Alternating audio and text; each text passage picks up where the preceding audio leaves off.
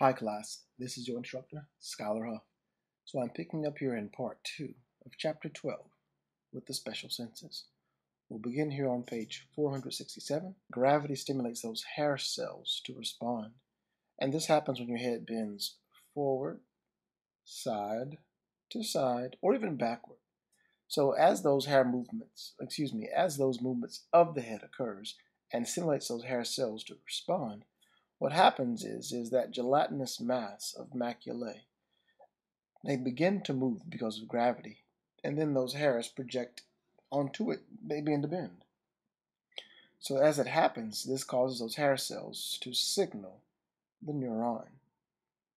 That signal, of course, is then conducted into the central nervous system, by way of the vestibular branch and the vestibular cochlear nerve, letting the brain know where your head is in position. As the brain responds, it will adjust the pattern of those motor impulses sent to your skeletal muscles. In other words, they may contract or relax to appropriately maintain proper balance. And this happens, I say, ever so quickly, and is the way that we keep our heads upright and especially how you're seeing the screen right now. So next of which we'll get to sense and balance. So those maculae, they also participate in the sense of dynamic equilibrium. So when your head or body is thrust forward or backward abruptly, that gelatinous mass again with the macula, it lags behind and the hair cells are then stimulated. So this is how the maculae aid the brain in, in detecting movements such as you falling or just maintaining your posture as you walk. Now to dynamic equilibrium. So this that is dynamic equilibrium involves movement. So what we have here is those the semicircular canal by way of those three bony semicircular canals, they lie at right angles. And with this, we have what is called the ampulla, meaning within which is what is called the perilymph, because within the perilymph of the bony canal is what we call the ampulla. If you look closely, you'll see figure 12.17, which is what I referred to. So the ampullae that communicate with the utricle of the vestibule. And with that, the ampulla has that ridge that crosses the tube. And each of these organs are called crista ampullaris. So the crista ampullaris, this is what has those sensory hair cells and what happens is that dome-shaped cupula and those hair cells of the of the crista ampullaris are connected to part of the bases by way of those dendrites, the neuron. So when the head or torso moves in that in that, the semicircular canals, they also move. But initially the fluid inside the membrane tends to remain stationary, and this is all because of inertia.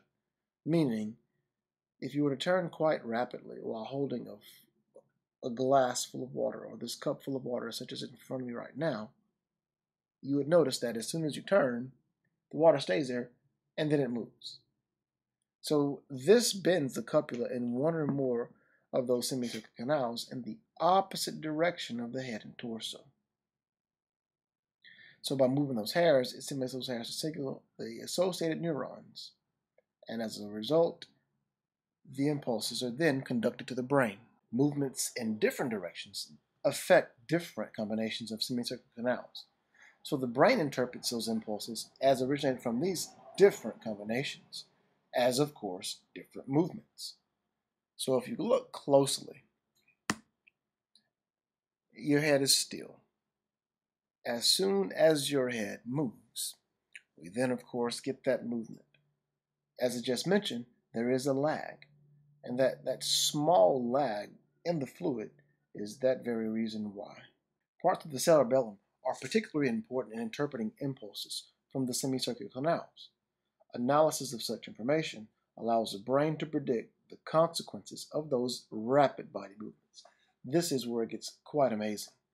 So when that happens is it modifies those signals to your skeletal muscles and the cerebellum can maintain proper balance. Other sensory structures also aid in maintaining equilibrium. So we have proprioceptors, and especially those joints, particularly the joints of the neck. They inform the brain about the position of body parts. Our eyes also detect changes in points of reference that result from body movements, and that visual information is so important that even if the organs of equilibrium are damaged, keeping your eyes open and moving slowly may be sufficient in, in maintaining normal balance. Last of the last is going to be motion sickness. So it's thought to result when those visual information, meaning what you see, contradicts the inner ear sensation when he or she is moving. And for instance, if you're reading in a car, if ever you read in a car, what happens is that the inner ear says you're moving as the car responds to those terms, the changes in speed, and of course, uneven road surfaces, but the eyes are following the lines of the book. So that, of course, is what seems to be motionless. So that is another example, of course, of what you see, not, of course, lining up with what you're experiencing. So the brain reacts to those seemingly contradictory sensations by the feelings of nausea. So that's the definition of motion sickness, when you have that sensory input that does not match. It's a mismatch in such thing. What I'll get to now is going to be deafness. So I've mentioned deafness before, but do keep in mind that it could be either a conduction deafness, when something hampers the sound conduction to the fluids of the inner ear, or it could be sensorineural deafness, which results from damage to the neural structures at any point from the cochlear hairs to and including the auditory cortical cells. So we have next up tinnitus. That's that ringing or buzzing or even that clicking in the ears in the absence of auditory stimuli, typical of which is for this to be called a, a symptom, not a disease. So this might be one of the first symptoms of cochlear nerve degeneration, and it signals that inflammation, meaning it may also signal, excuse me, inflammation of the middle ear or inner ear, and a side effect of some medications such as aspirin. Up next is Meniere's syndrome. Meniere's syndrome is a labyrinth disorder that seems to affect all three parts of the inner ear. So someone with it may have repeated attacks, repeated spells of vertigo, nausea, and vomiting. Balance is also disturbed in that standing straight up is nearly impossible, and hearing may be impaired or lost completely.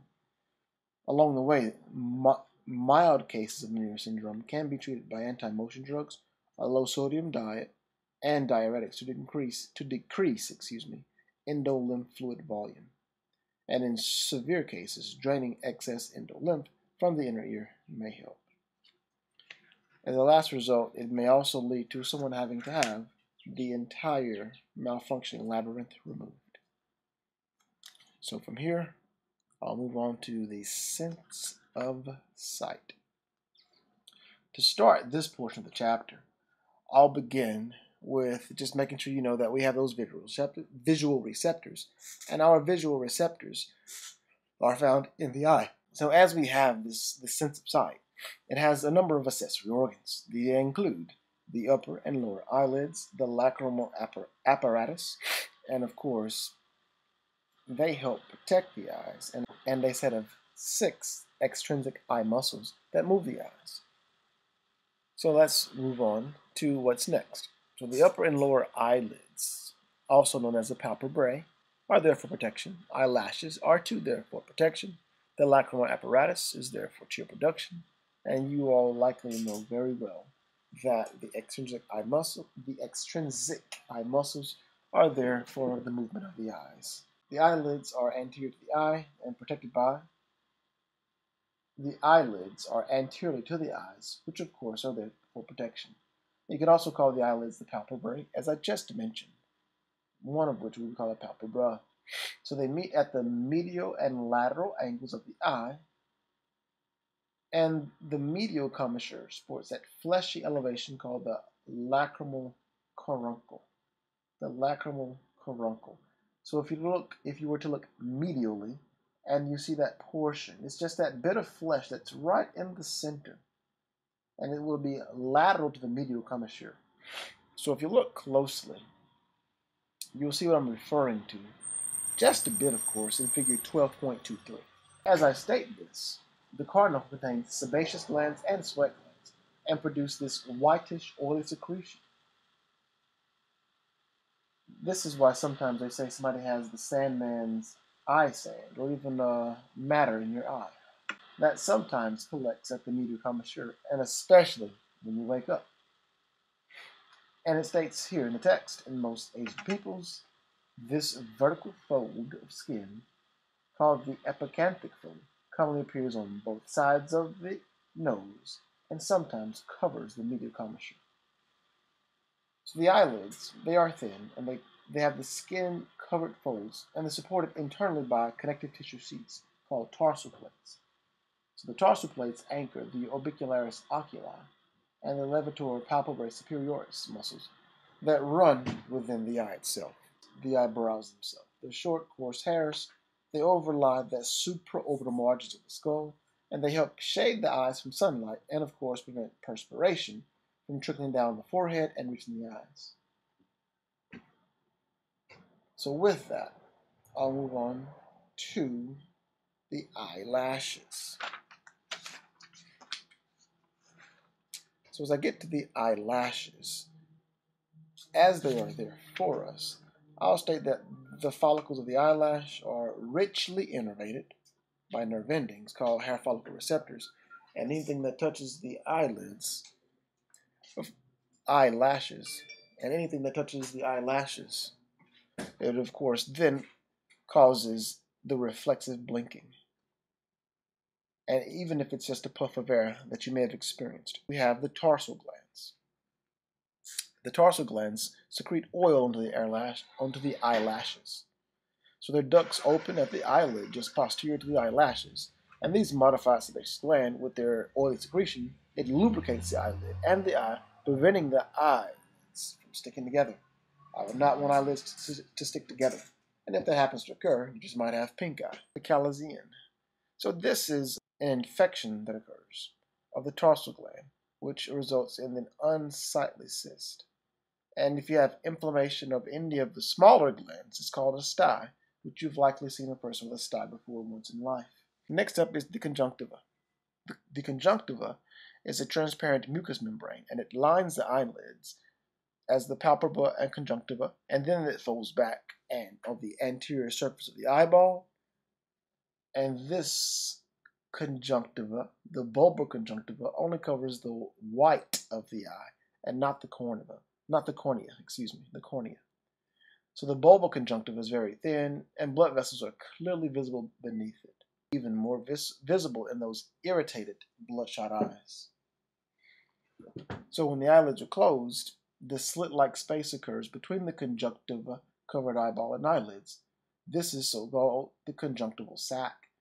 So the conjunctival sac is where your contact lenses rest.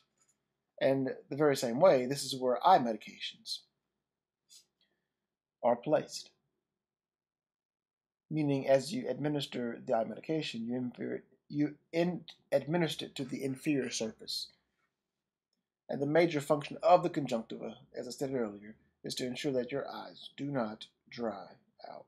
The lacrimal apparatus consists of the lacrimal gland and the ducts that drain the lacrimal secretions into the nasal cavity. The lacrimal gland, which is here, continuously releases a dilute saline solution called that lacrimal secretion, or more commonly, tears. So it's released in that superior part of the conjunctival sac, and then from there it goes through several small excretory ducts. It's so amazing how this occurs. So blinking then spreads the tears downward across the eyeball to the medial commissure where they enter into the lacrimal canaliculi. The lacrimal fluid contains mucus, antibodies, and lysozyme. To help you out, what lysozyme does is it destroys bacteria. Hence, it cleanses and protects the surface as it moistens and lubricates. So when the lacrimal secretion increases substantially, tears spill over the eyelids, and fill the nasal cavities, causing the congestion and the sniffles. No, I don't have the sniffles. So this spillover or tearing happens when the eyes are irritated or when we are emotionally upset. In the case of eye irritation, the enhanced tearing washes away or dilutes the irritating substance. So the importance of emotionally induced tears is not well understood. So amazing. So when a person cries, it is parasympathetic nerve fibers that conduct those motor impulses to those lacrimal, lacrimal glands. How amazing it is. So thanks a lot, lysozyme, lysozyme, for reducing the risk of eye infections. Next up, excuse me, I'll get down into because the nasal the nasal ca cavity mucosa is continuous with that of the lacrimal duct. A cold or nasal inflammation causes the lacrimal mucosa to swell, and this swelling constricts and prevents tears from draining, causing those watery eyes you all may have experienced. Next up, I'll get down to extrinsic eye muscles. Um, that is the way our eyes move with these six strap-like muscles. It is important to know we have six of those. They are among the most precisely and rapidly controlled skeletal muscles in the body. So the precision of those reflects their high axon to muscle fiber ratio, meaning the motor units of these muscles contain only 8 to 12 muscle cells, and in some cases, only as few as 2 or 3. So I'll next get to another application in the clinic. And I'll mention this is when the eye movements meaning the movements of those extrinsic eye muscles of the two eyes are not perfectly coordinated, a person cannot properly focus on images of the same area in the visual field from each eye, so that person sees two images instead of one. This is called diplopia. So diplopia or double vision can result from paralysis or weakness of certain extrinsic eye muscles, or even a neurological disorder.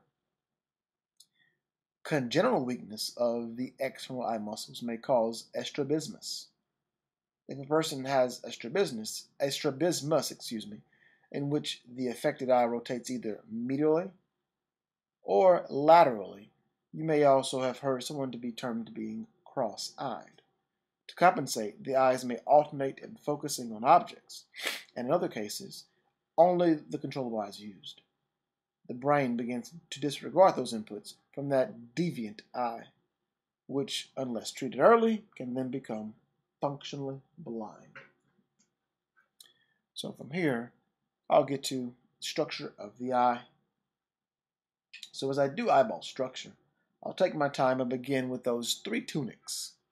So we have that fibrous or outer tunic, vascular or middle tunic, and the inner called nervous tunic. So the hollow spherical organ of eyesight, the eyeball it is. So the outer tunic, the fibrous tunic, it's composed of, it says, dense avascular connective tissue. So this dense, I repeat, avascular connective tissue has two parts. It's known as the sclera and cornea. So I'll keep this as concise as I can keep it, you all. The sclera, seen anteriorly as the white of the eye, it's tough and tendon-like sclera that protects and shapes the eyeball itself. So this is what anchors those six extrinsic eye muscles. And then posteriorly, where the sclera is pierced by the optic nerve, that's cranial nerve number two, it is continuous with the dura mater of the brain. The cornea. The cornea is modified to form that transparent portion, meaning whereas the sclera takes up a greater portion of the eye, the cornea only takes up that anterior sixth of the fibrous layer. So the cornea is what bulges out anteriorly from the junction with the sclera, meaning that latter 5 6 or that posterior 5 6 of the eye, is what forms, meaning that crystal clear cornea, window that lets light enter the eye. So it's that major part of the light bending apparatus of the eye. So with that, I guess I'll get to the next portion here. Its cells, meaning the cells of the cornea. They have active sodium pumps to maintain the clarity of the cornea by keeping its water content no, low. Excuse me. So the cornea is supplied pretty well with nerve endings, and most of which are pain receptors. So this is why people cannot tolerate, meaning some cannot tolerate contact lenses. The cornea, meaning if it's touched, blinking and increased tearing occur reflexively. Even so, the cornea is the most exposed part of the eye and is vulnerable to damage from dust, slivers, and things as such. So luckily, it can regenerate and repair itself extraordinarily. Excuse me, the cornea has no blood vessels. As I said earlier, this fibrous layer is avascular. So The cornea has no blood vessels, so it's it is beyond the reach of the immune system, meaning as a result the cornea is the only tissue in the body that can be transplanted that can be transplanted from one person to an, another with little risk of rejection. Next I'll get to the middle layer, that vascular layer. Here I have what is called the choroid, the ciliary body, as well as the iris. I'll begin firstly with the choroid. The choroid, and let me go back for just a moment. This is that middle vascular layer, so I hope it's strikingly obvious that now it has vascular tissues. So what I mentioned here now is that the choroid is a blood vessel rich dark brown membrane and it forms the posterior five-sixths of the vascular layer. So the blood vessels here nourish all eye layers. Its brown pigment is produced by melanocytes, help absorb light and preventing it from scattering and reflecting within the eye. If that were to happen, you would be visually confused and not be able to see.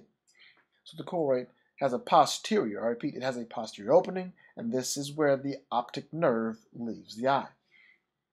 The ciliary body, anteriorly, the choroid becomes a ciliary body.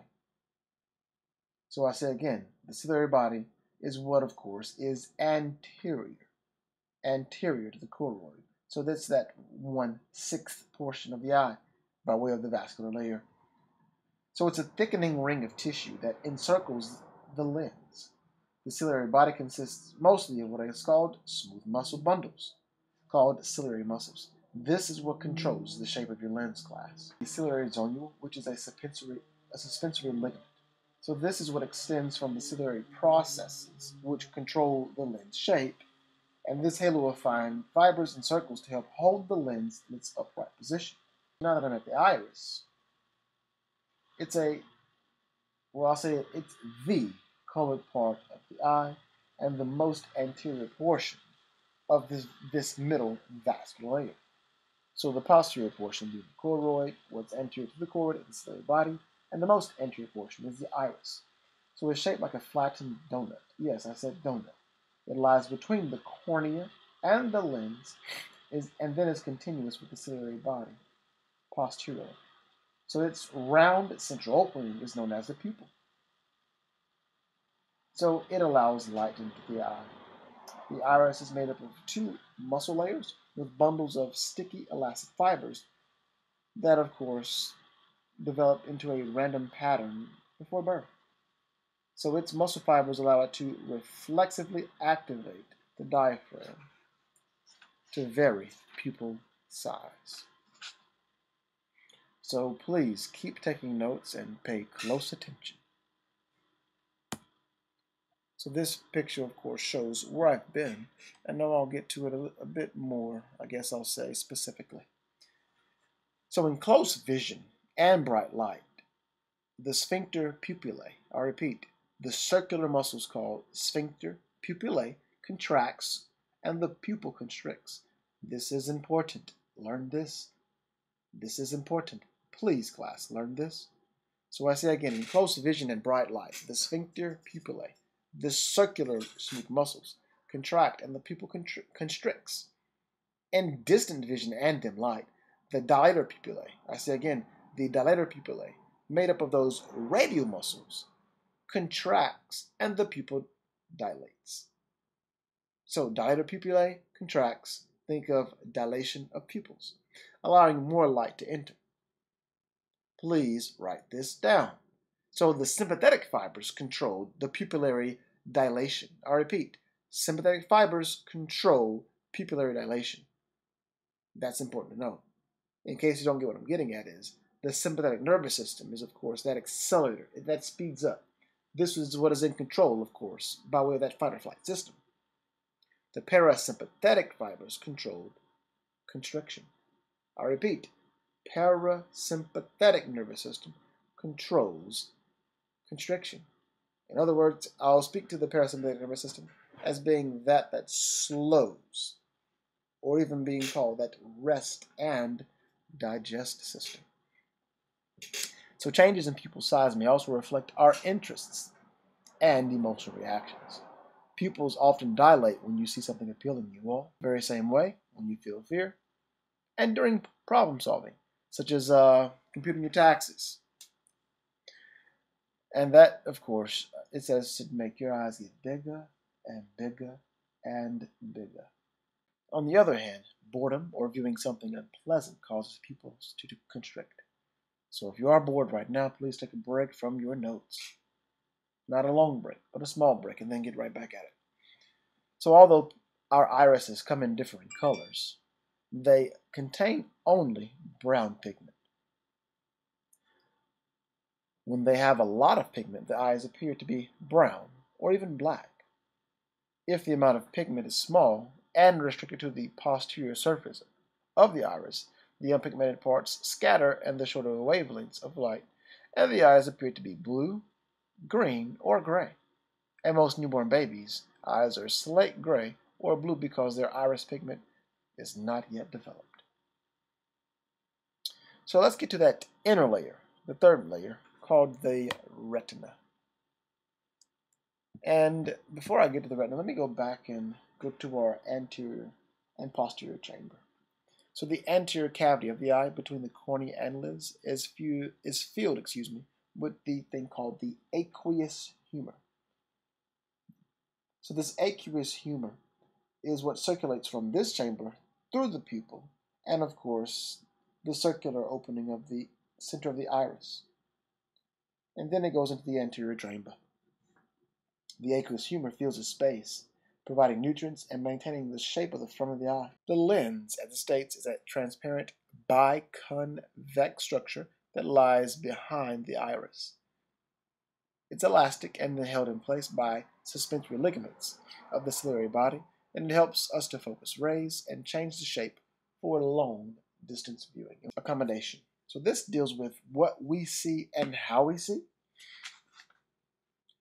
Everything you see will not necessarily be right in front of you. So we must have we, must change to focus. So focusing on close vision. Focusing for close vision.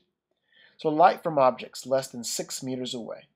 It diverges as it approaches the eye and comes to a focal point farther from the lens. For this reason, close vision demands that the eye make active adjustments. To restore focus, three processes must occur simultaneously. It's called accommodation of the lenses, constriction of the pupils, and convergence of the eyeballs. So this accommodation refers to your lenses. It's the process that increases the refractory power of the lens by way of those ciliary bodies pulling to contract, anteriorly pulling the anteriorly pulling toward the pupil inward. And what happens is it no longer stretches and the elastic lens recoils and bulges, providing a shorter focal length. For a near point of vision, meaning the, the maximum bulge the lens can achieve. In young adults with an emmetropic vision, the near point is approximately 10 centimeters or 4 inches from the eye. It's closer in children and gradually recedes with age, which is why you may have seen someone older than you reading something, such as a newspaper, at an arm's length farther away from their face. So the gradual loss of accommodation with age reflects the lens's decreasing elasticity. And in many people over 50, the lens is non-accommodating in addition in a condition known as presbyopia, meaning old, old person's vision. The iris, of course, as I mentioned earlier, controls the amount of light entering the eye. And we've already gotten to the pupil and the way in which constriction occurs.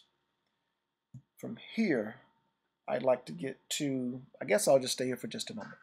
Make sure you review this. I, I gave it to you moments ago about how the parasympathetic nerve fibers cause the sphincter pupillae muscles to contract, and of course the pupil constricts.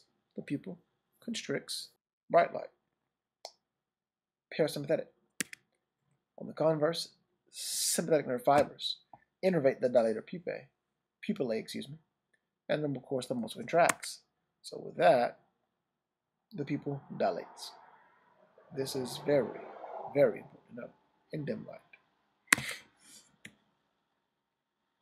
So I already, already got into the aqueous humor moments ago. So what I'll now get to is that inner layer, the retina, that inner tunic. So the retina has that innermost layer, well, is that innermost layer, which develops from an extension of the brain.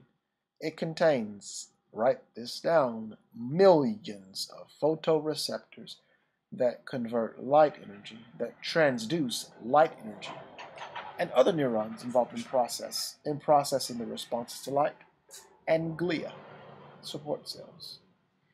So the retina consists of two layers, the outer pigmented layer and the inner neural layer. Although the pigmented layer and neural layers are very close together, they are not fused. So only the neural layer of the retina plays a direct, a direct role in vision. So the pigmented layer, that is the outer portion. It's pigmented, like those of the choroid, to absorb light and prevent it from scattering in the eye. And it also acts as phagocytes, participating in the photoreceptor cell renewal. So it stores vitamin A, which are needed by your photoreceptor cells. The neural layer, as it's composed primarily of three main types of neurons. We have ganglion cells, bipolar cells, and the photoreceptors. So signals are produced in response, I repeat, in response to light and spread from those photoreceptors to the next pigmented layer, to the bipolar cells, the innermost ganglion cells, where our action potentials are generated. So it's important to know this. I'll go here and continue what I'm doing. So we have what is called the optic disc. Yeah, I'll go to the optic disc. It's called the optic disc because there are no photoreceptors there. And what I'm saying is, is it's where the optic nerve exits the eye. So as it happens, it's called the blind spot. I say again, the optic disc is also known as the blind spot. Well, the reason it's called the blind spot is because it lacks photoreceptors. So light that is focused on it cannot be seen. So we do not, it says we do not notice typical, which those gaps in our vision because the sophistication of our brain filling in and dealing with that absence of input. And during lab, you will find your blind spot, and it's not anything that's hard to do. It's quite simple. You can do it right now, in fact. So next up, I say we have a quarter billion photoreceptors. I repeat, a quarter billion photoreceptors. That's a lot, if you ask me. And they're found, of course, as I mentioned earlier, in the in the neural layer. And the two types are known as rods and cones. I repeat, we have a quarter billion of these things. To make it more interesting, rods are our dim light and peripheral vision receptors. This is on your test. They are more numerous and far more sensitive to light than the cones. However, they do not provide any sharp images or color vision. Hence, color disappears. And the edges of objects appear fuzzy in dim light and at the edges of a visual, visual field.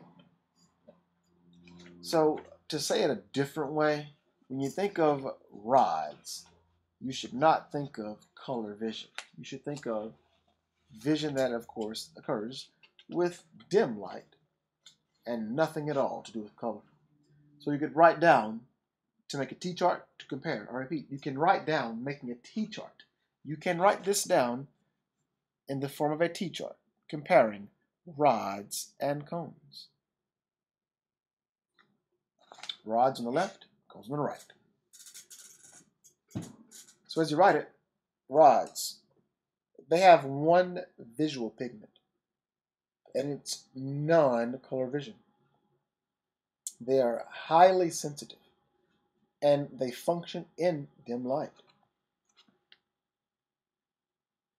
We have low visual acuity by way of our rods. They are more numerous with, since you're, you're paying attention here, there are 20 rods for every cone, and they are mostly in the peripheral of the retina. Those are the rods. Cones, however, are for color vision. There are three visual pigments for cones. There are three visual pigments for cones. For those who cannot wait, we have blue cones, green cones, and red cones. Red cones, excuse me. So yes, red, green, and blue. They have low sensitivity and they function in bright light. They have high visual acuity. And you find this at the fovea. They are less numerous and mostly in the central retina. And we'll do more with that here shortly. So to go back to where I was, in contrast, our cones are vision receptors for bright light and provide us with high resolution color vision. So if we look closely here, knowing what you now know, we have those rods which are more numerous than those cones. These are the photoreceptors.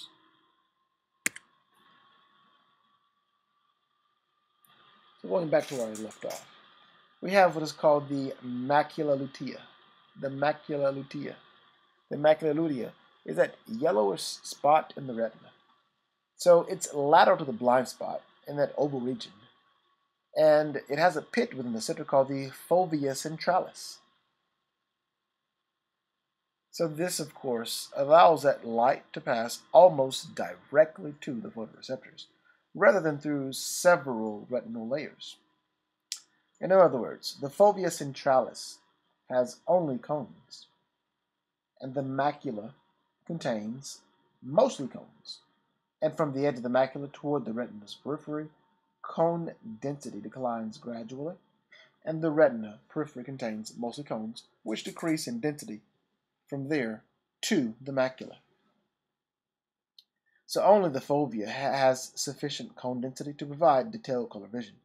So anything you wish to view critically is focused on by the foveae because each fovea is only about the size of the head of a pin. Consequently, it is hard for us to visually comprehend a scene that is rapidly changing, such as when we drive in traffic. Our eyes must flick rapidly back and forth to provide the fovea with images of different parts of the visual field. So to make sure you don't forget it, the blood vessel supply and two from those two sources, they enter and leave via the optic nerve, meaning the very same spot.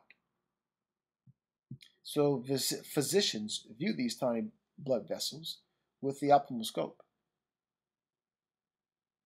So the very same would be used in lab.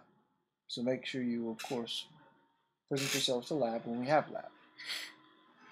The retinal attachment is a pattern of vascularization. And what happens is that pigmented and neural layer separates or detaches, and the jelly-like vitreous humor then, of course, begins to seep between them. And it can cause permanent blindness because it de deprives those photoreceptors of nutrients. So with retinal detachment, it usually happens when the retina is torn during a dramatic blow to the head, or when the head stops moving suddenly and then jerks back in the opposite direction, such as in bungee jumping. So it's been described as having a curtain pulled over your eye. If diagnosed early, with lasers, it can be, of course, attached, meaning reattached. So let's get to the internal chambers by way of its fluid. So, so the posterior cavity, which is enclosed by the lens, retina, and ciliary body, contains the vitreous humor, which I just mentioned. So it has a tremendous amount of water. And what the vitreous humor does is transmit light. It supports the posterior surface of the lens and hold the neural layer and retina firmly against the pigmented layer. And it contributes to the intraocular pressure that helps counteract the pulling forces of those extrinsic eye muscles. So as I put it that way, I'll now get to what happens when the pressure changes. So if drainage of the aqueous humor is blocked, the fluid can back up and become clogged, such as you had in the sink maybe once before. So pressure within the eye may increase to dangerous levels.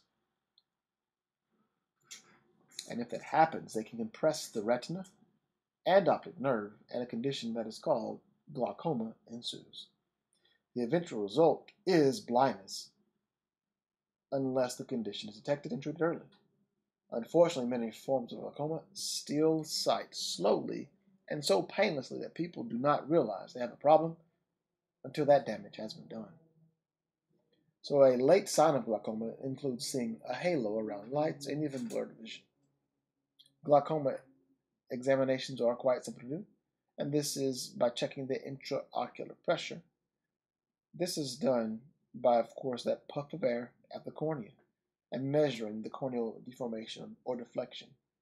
So the exam should be done yearly by age 40, and typical which this happens likely when you see your eye doctor, if ever you go. Up next, I'll be at the cataract. So the cataract is a clouding of the lens that causes the world to appear distorted, even if seen through a frosted glass. Some cataracts are congenital, but most result from age-related hardening and thickening of the lens. It can also be a secondary consequence of diabetes mellitus, heavy smoking, or even frequent exposure to intense sunlight. So oxidative stress and metabolic changes in the deeper lens promote the clumping of those crystalline proteins, which of course are transparent, that form the body of the lens, or what of course may be why. So unexpectedly, supplementation with the antioxidant vitamin C may actually increase cataract formation. So please protect your eyes. So if in fact this has occurred, that lens can be removed and an artificial lens can be implanted to save the person's sight.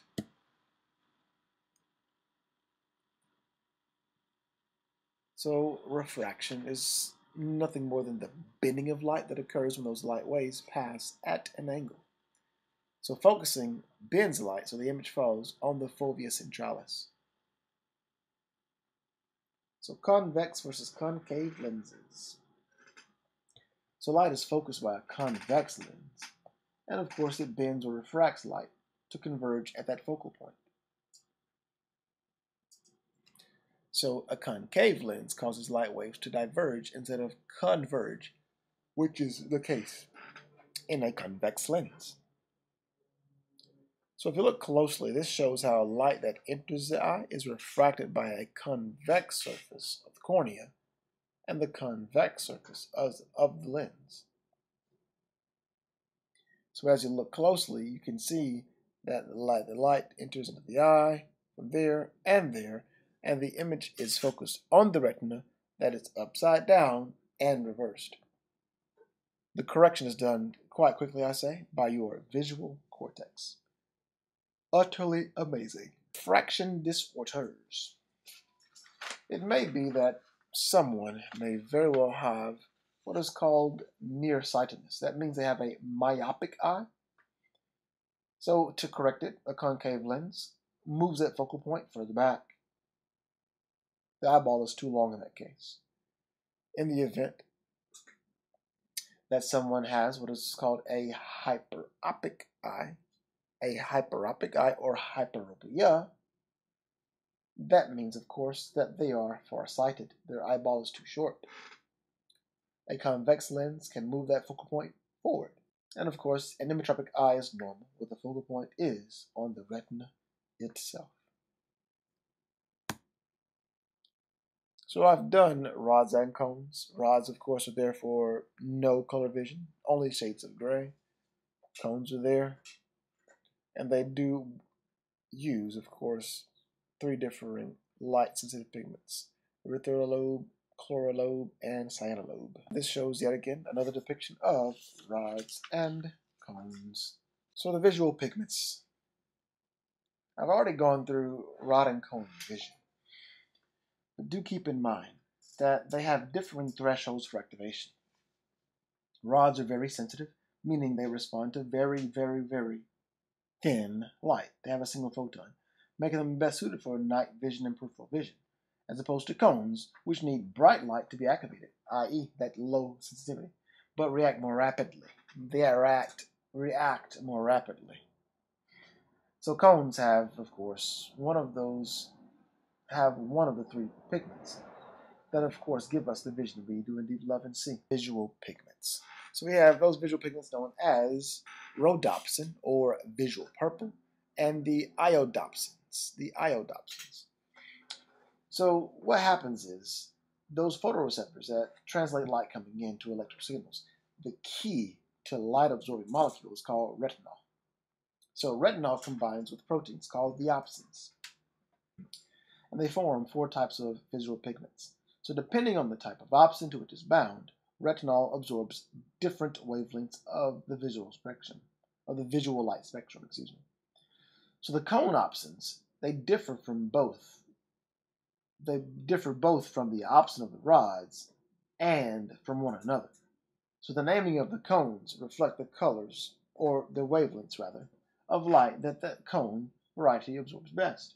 So blue cones respond to a, an approximate 420 nanometers, and that's the wavelength in nanometers. Green light responds to wavelengths of approximate 530 nanometers, and red light, red cones, excuse me, respond to wavelengths at or close to 560 nanometers. So it's asked, how do we see colors besides blue, red, and green? It's because of the overlap of the spectrum. So since the spectra overlap, our perception of intermediate hues such as yellow, orange, and purple results from different activation of more than one type of cone at the same time. So yellow light will simulate both red and green cone receptors. But if the red cones are simulated more than the green cones, we see orange instead of yellow. And when all cones are simulated equally, we see white. So color blindness is an X-linked condition, an inherited X-linked condition. And it is estimated that up to 10% of males have some form of color blindness. In other words, it's linked on the X chromosome. And since males have one X chromosome, if they have at least one recessive allele, they are colorblind. So the most common type of color blindness is red-green color blindness, resulting from a deficit or absence of either red or green cone pigments. So red and green are seen as the same color and either red or green, depending upon the, the pigment that's present. So many colorblind people are unaware because they have learned to rely on other cues, such as those different intensities. So retinol is related directly to vitamin A and is made from vitamin A. So the cells of the pigment layer absorb vitamin A from the blood and serve and serve as that local vitamin A depot for both rods and cones. So retinol can assume a variety of three-dimensional forms called an isomer. So what I'm getting to is this. In the presence of light, rhodopsin will decompose into two parts. Let's get to how these parts work. The way it happens is that it triggers and decomposes, meaning the presence of light, rhodopsin, into retinol and opsin. Period. And I guess I'll get a bit more into that to make this make better sense. To make it make better sense, by way of this thing called phototransduction. To better explain this, it's called phototransduction, the process by which light energy is converted into a greater receptor potential, and it begins when a visual pigment captures a photon of light. So the visual pigment of rods is that deep purple, or even some have called it visual purple, rhodopsin. So what happens is rhodopsin molecules, which are arranged in those membranes, have thousands of disks. So the first thing that happens is you must have rhodopsin to form and accumulate it. So rhodopsin forms and it's accumulated in the dark. Vitamin A is then oxidized and isomerized, and then combined with opsin to form rhodopsin.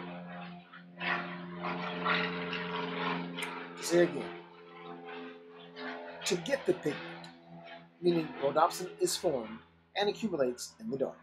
It happens by oxidizing vitamin A and isomerizing it to, of course, an 11 cis retinol form, and then it's combined with opsin to form rhodopsin. Pigment bleaching, of course, that you all I know are quite, I say quite intimate with, is what happens when rhodopsin absorbs light. So retinol then changes to a trans isomer. And this is what bleaches that pigment. So once the light struck all trans retinol detaches from opsin, enzymes with the pigment epithelium reconvert to its 11 cis isomer. Then retinol, of course, it says, has heads homeward again to the photoreceptor cells outer segments. So the breakdown and regeneration of the visual pigments in cones is essentially the same for rhodopsin. However, cones are about 100 times less sensitive than rods, which means they can take a higher or brighter intensity of light to activate cones. So we'll now get to light and dark adaptation.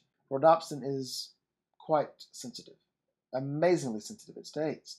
So even starlight bleaches, bleaches, I repeat, even starlight bleaches some of its molecules. So as long as the light is low intensity, relatively little rhodopsin bleaches, and the retina continues to respond to light stimuli. However, in high light intensity, there is a wholesale bleaching of the pigment. Rhodopsin bleaches as fast as it is, excuse me, as fast as it is reformed. So at this point, the rods are non-functional, but the cones still respond. Hint, retinal sensitivity automatically adjusts to the amount of light present. So amazing. We have what is called stereoscopic vision, and it happens because we have two eyes and giving us, of course, slightly different retinal images from the eyes. So I'll get to light adaptation, continue where I was with light and dark adaptation. What happens is we move from darkness into bright light, such as leaving a movie matinee.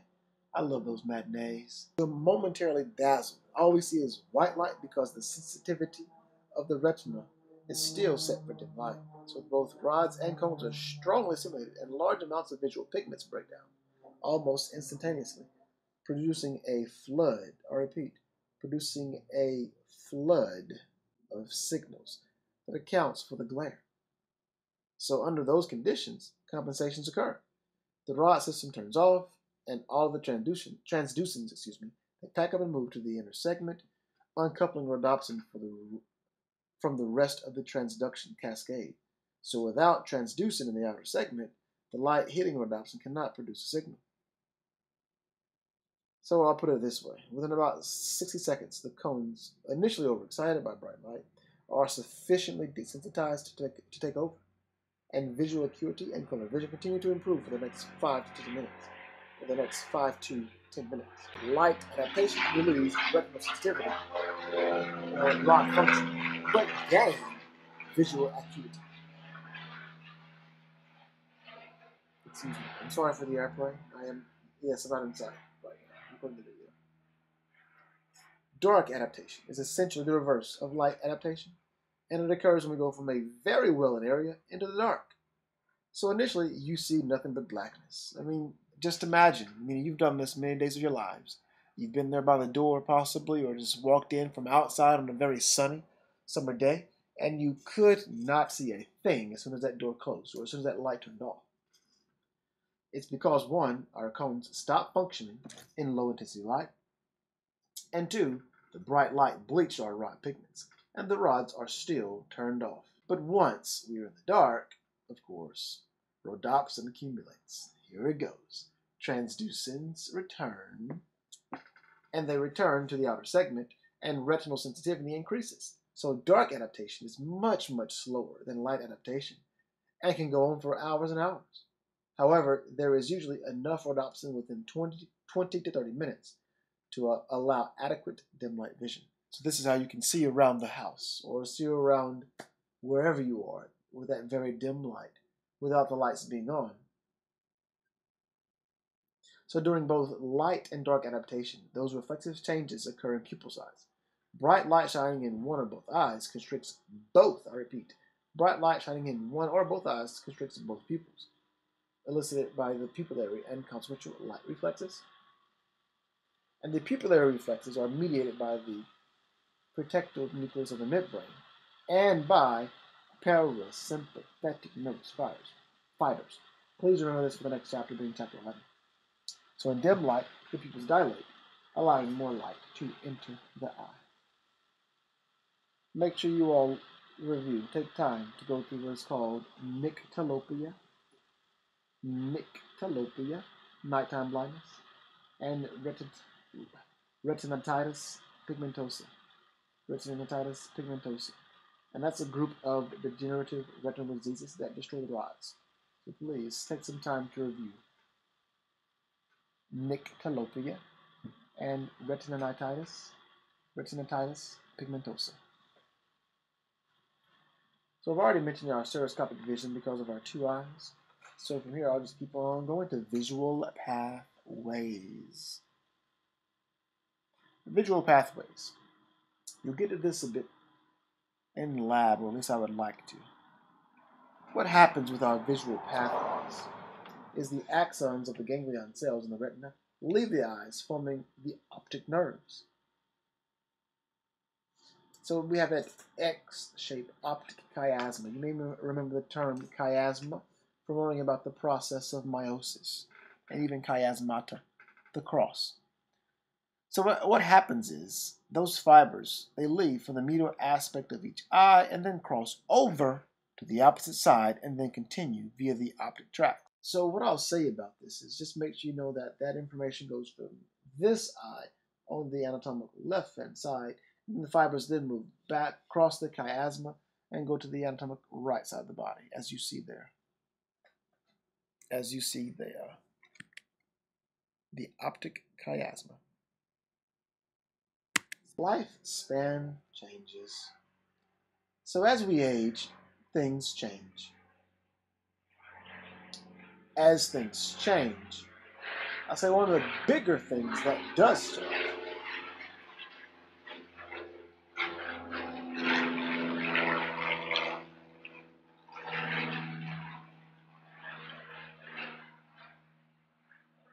lifespan changes. One of the bigger things that changes is our ability to see. By age 40, a book may need to be held farther and farther away from the body. And please, class, read your textbook. Please, class, read your textbook. You may even begin to have floaters seen, develop cataracts and glaucoma. And class, please look up and review macular degeneration. Mac, MACD, as some may call it. It's called macular degeneration. Your eyes may also begin to dry. By the age 50 class, it states that senses of smell and taste may also begin to diminish, reflecting, of course, the anosmia, a loss of those olfactory receptors I mentioned in the prior lecture. By age 60, a quarter of the population experiences noticeable hearing loss.